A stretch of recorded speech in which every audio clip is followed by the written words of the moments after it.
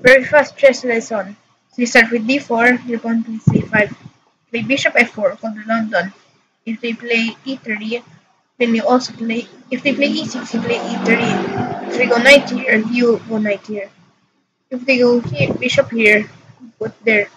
If they go here, you put your bishop here. If they attack your bishop, then just bring it back. If they castle, do h3. If they do this, you put your bishop here. That's the purpose of h3. And then if they if they develop your, the knight, then you put your knight here. And then later on, you can castle. This is called the London opening.